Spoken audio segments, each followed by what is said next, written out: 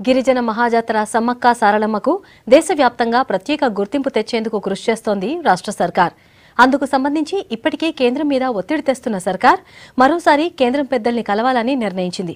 ఇవాళ ఢిల్లీ వెళ్ళనున్న మంత్రి ఇంద్రకరణ్ రెడ్డి మేడారం జాతరను జాతీయ పండగగా గుర్తించాలని కోరనున్నారు.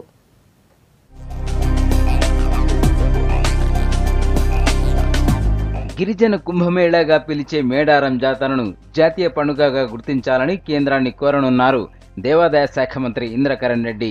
ఇందుకోసం ఇవాళ ఢిల్లీకి వెళ్తున్నారు.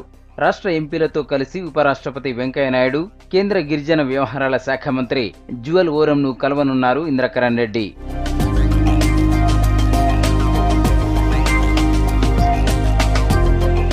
తెలంగాణ ప్రభుత్వం మేడారం జాతరను జాతీయ పండుగగా గుర్తించాలని ఇప్పటికే అసెంబ్లీలో తీర్మానం చేసింది.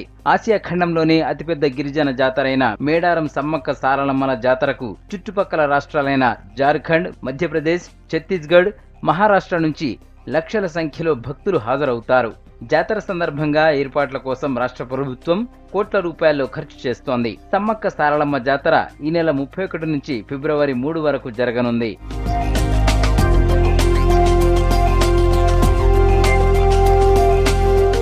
జాతరకు ఉన్న ప్రాధాన్యతను గుర్తించి జాతీయ పండుగగా గుర్తించాలని రాష్ట్ర ప్రభుత్వం కోరుతోంది. ఇవాళ ఇదే విషయమై ఢిల్లీ పెద్దలతో తెలంగాణ ఎంపీలతో కలిసి చర్చించనున్నారు మంత్రి ఇంద్రకరణ్ రెడ్డి. సమ్మక్క సారలమ్మ జాతరను జాతీయ పండుగగా గుర్తించాలని విజ్ఞప్తి చేయనున్నారు.